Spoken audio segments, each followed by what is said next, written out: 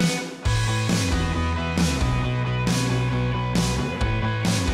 this section, we're going to look at projects,